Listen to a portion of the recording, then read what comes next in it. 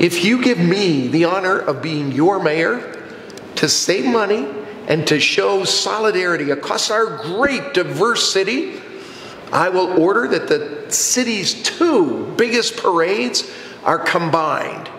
And henceforth, together, we will all enjoy the days of 47 gay pride, parade, and rodeo.